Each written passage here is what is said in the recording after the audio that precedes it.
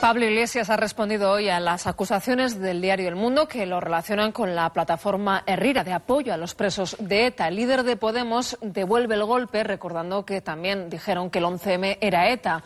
Su partido ha emitido un comunicado insistiendo en que Podemos condena la violencia terrorista. La portada del mundo le vincula con las organizaciones de presos etarras y Pablo Iglesias se lo toma como un empujón. Cada día somos más y algunos pierden los nervios. Dijeron que ZP era ETA, que el 11M era ETA. Ahora nosotros. Gracias por los apoyos. Para desterrar la relación con ETA, Podemos tira de comunicado dejando clara su postura. La posición de Podemos y de su portavoz de condena al terrorismo es clara y conocida. Una posición que el propio Iglesias se encargó de fijar la semana pasada. Podemos condena la actividad de ETA.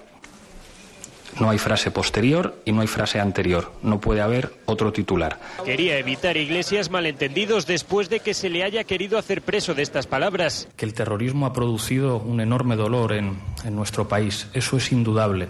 Pero también diría que tiene explicaciones políticas. No es la primera vez que Iglesias muestra su sensibilidad con este tema. Es fundamental que todos y todas pongamos nuestro granito de arena para defender los derechos humanos y para combatir la excepcionalidad.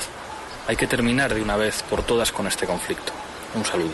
El líder de Podemos saludaba así a los participantes de un acto de Rira, según la Guardia Civil, la heredera de gestoras pro amnistía y Ascatasuna.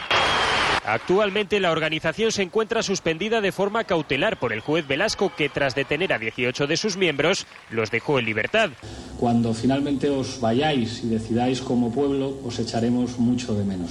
Es Iglesias hablando sobre el futuro vasco en una Enrico taberna de Iruña. Según cuenta El Mundo, la organización de apoyo a los presos etarras se reunió con él en Madrid para establecerlo como contacto. Lo que hace es que nos desvía de los problemas fundamentales. Vamos a hablar de la desigualdad, de la pobreza, de la miseria, que es lo que explica ese millón de votos y no esos supuestos hilos con, con, con Herrera. Izquierda Unida pide hablar de lo importante, mientras otros auguran que Iglesias se terminará arrepintiendo de algunas posturas. Y creo que es bueno que los ciudadanos sepamos y que todos sepamos quién es cada uno y cómo piensa cada uno. Y yo estoy convencido que son palabras de las que el propio Pablo Iglesias terminará arrepintiéndose. La información de El Mundo, basada en datos incautados a Herrera por la Guardia Civil, hablaba de una única cena en Madrid.